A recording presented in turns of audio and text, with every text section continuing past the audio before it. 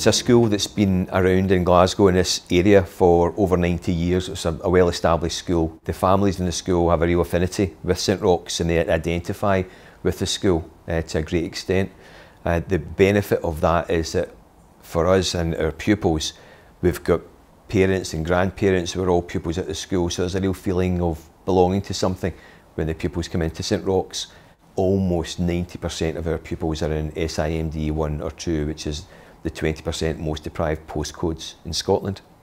And, and the, the fairly small number that we have out with those two uh, deciles really come from uh, outlying areas to come into St Roch's because of, for example, our deaf provision, where we'll have deaf pupils travelling from across Glasgow or from out with the Glasgow area uh, into the school for that.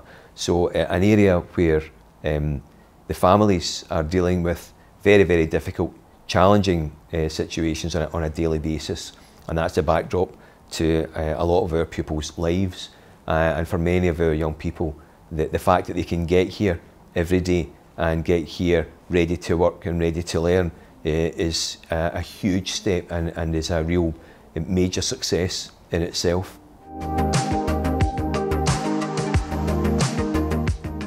Exclusion from school would only be an absolute last resort and um, it's easy to say that but the evidence shows that because in the last four or five years our uh, figures for pupils being excluded have been in single digits for the whole year for the whole school.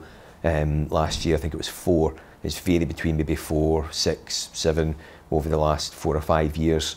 Um, whereas previously in many Glasgow schools the figures for pupils being excluded we're 10 times, 20 times that figure. So the, the evidence shows that we are working in a way where exclusion for us is not an option. That's, we, that's the, the default position is we don't exclude pupils. It doesn't resolve any issues, it just kicks it down the street a wee bit and the issues that caused the problem there are still going to be there in two days or three days or four days. So for us, that's not a solution. It doesn't fix anything, it doesn't make anything better.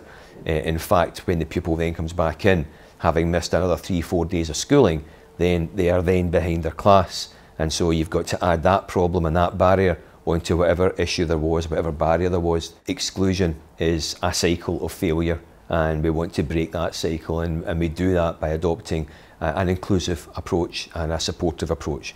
There are lots and lots of ways in which we do that.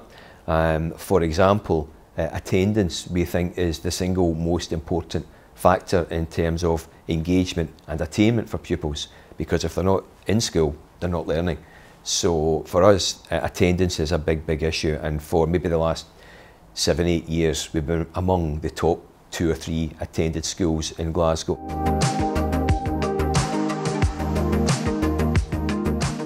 A school of 600 teenagers, so you know, incidents do happen like they do in all schools, but the starting point is to have a positive climate in the school and, and a calm atmosphere in the school because that feeds into positive relationships. And so what we, we achieve through that is that although there are incidents, they tend to be infrequent, they're few and far between. And so they're much easier to deal with because everybody involved, the teacher, the young person, the parent, everybody involved can see that it's an unusual situation. That gives a starting point for a conversation then. So why is that? Why did that happen? You know, what was the problem there?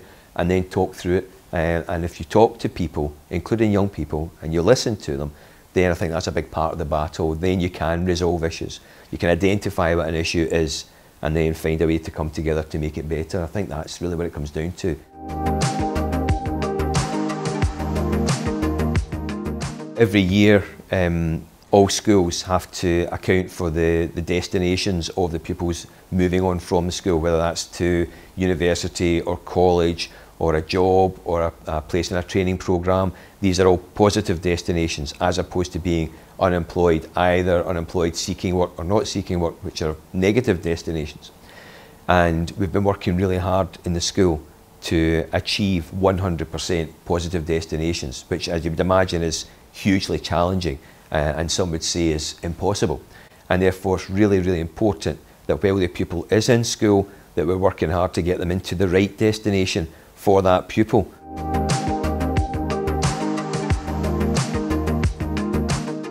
If we have supports that are in place for most pupils, we're failing. We have to have supports that are in there for the pupils of our school, every single one of them. And some of them need more support than others. Some of them need very little support in terms of getting through school and achieving really well, and that's fantastic.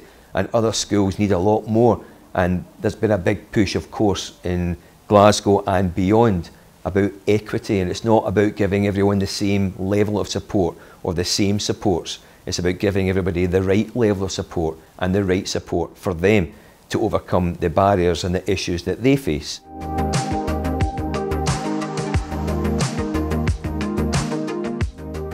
So the Nurture programme, and we have got specially trained staff who, who implement that programme, will support young people whose home lives may be very challenging uh, or for whom school itself is a real challenge and they need some extra support and that might be a broad support of life skills. They come in in the morning, they maybe have some breakfast, the chance to, to relax a wee bit before school and to get themselves into a good frame of mind to learn, into a positive frame of mind to learn for that day. It might be that there are some subjects that some pupils find extremely difficult or too much of a challenge and we can withdraw them from certain subjects and give them extra support in certain other subjects where they will do well with that wee bit more support or it might be that they come out and they have some individual time and support time that is structured carefully and with a programme based around what their particular needs are. We also have a programme um, for our younger pupils called CIA, Children's Intelligence Agency it is, and it's for pupils who are particular high achievers and so it's to support them and really stretch them and it might be some after school work in certain subject areas uh, or in a broader sense general support time for them.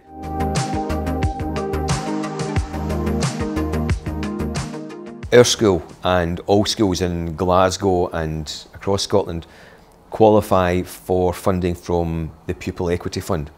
And it's a, an amount of money which is given to schools based on the level of deprivation faced by the pupils in that school and in that area. And, and the, the rationale behind the, the PEF funding, as it's called, is that it's an attempt to reduce the poverty-related attainment gap across the country because for years um, it's been evident that pupils from more affluent backgrounds tend to perform better and then have better opportunities in school and beyond school. Part of that might be, for example, bringing more staffing in because there's always that concern about is this more work and how we're already working so hard, how can you ask us to do something else? One way that we can try and, and cushion that effect is to bring in extra members of staff, for example, to work for two days a week. And through bringing that member of staff in, you can increase capacity in a particular subject area, maybe enable you to split classes and have smaller groups, or to extract pupils who are just on the cusp of uh, two different levels to try and give them that extra support. We have a really strong system of pastoral care in the school. We have a horizontal system which means that we have a pastoral care teacher responsible for all pupils in a certain level. So we have a one pastoral care teacher for all pupils in S1 and S2. Another pastoral care colleague looks after pupils in S3 and S4. So that's pupils coming to the end of their BGE, which is a broad general education, and into the senior phase, which starts in S4. And we have one looking at S5 and S6, and that pastoral care teacher will have um, responsibility for supporting those pupils as they move towards the end of their time in school and then a real focus on positive destinations and transition support work for college, university courses and so on. We also have an extra 0.6 pastoral care teacher who will have specific areas of responsibility, not a caseload in the same way as the other teachers do, but maybe an, an overview of, for example, the nurture provision in school or looking after our care experienced young people. We have a, an extensive deaf provision in the school and it's Glasgow specialist deaf provision and last year the figure was maybe about 38, 39, it's maybe about 35 deaf pupils at the moment and that will be pupils who have a, a range of hearing impairment. They may be, for example, profoundly deaf. In most cases, they're not profoundly deaf, but they have hearing loss to different degrees. Uh, the great thing for those pupils is they can come to St Roch's and be part of a mainstream environment. So they have specialist support within the mainstream environment. Some of those pupils will receive their teaching and learning in small groups within the Deaf Ed department, but most of those pupils will access at least part of their curriculum in mainstream classes with support. The great thing for those pupils is they are accessing a mainstream education provision with all of the supports that we have in place and the, the breadth of opportunities that that will present to pupils. But for all of our pupils, our hearing pupils especially, then it, it raises awareness and issues around tolerance and acceptance and inclusion, and inclusion is one of our school values. The key, I think, to having a, an inclusive, a genuinely inclusive school is the relationships and the emphasis on building strong relationships in the school. It means you have uh, teachers and support staff who are working hard with young people and with families. You have young people who love the school. You have parents and carers who wouldn't dream of sending their children to any other school because they actually love the school.